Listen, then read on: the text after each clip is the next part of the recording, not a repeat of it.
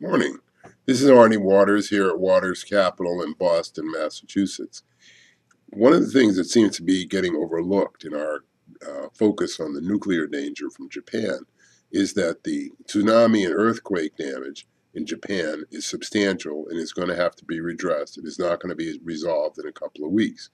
Yes, we're going to see a tremendous amount of money being spent by the Japanese, but rebuilding their infrastructure is not going to take place over the next two or three years. It's going to be a five to 10 year effort.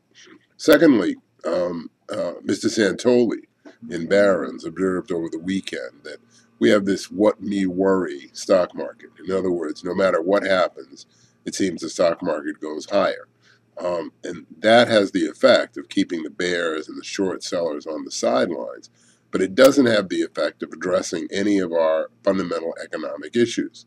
In other words, we're in the middle of a severe housing price decline, perhaps for the first time in a quarter century.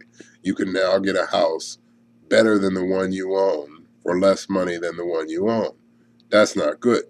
There's also a tremendous overhang of unsold properties over the last few years. In addition, the legendary short sales are creating a whole other supply of housing. So we have a hard time seeing how there's going to be any structural increase in housing prices. What that means, since housing prices are down and likely to go down, is that people are going to stop, as they already have in some areas, stop trying to tap their equity lines, which gives them money to spend. So, as a consequence, what we're looking at is a United States consumer who's not only depleted, but unable to access the kind of cash they're used to dealing with. We're already seeing prime borrowers are cutting down on uh, borrowings, as it were. Um, people are going more and more to cash, spending less and less money.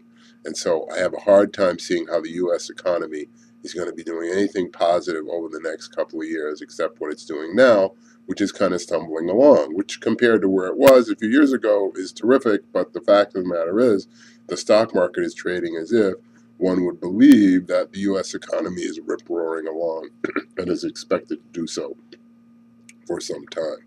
So we want you to aim for the ice floes, aim for the trouble spots.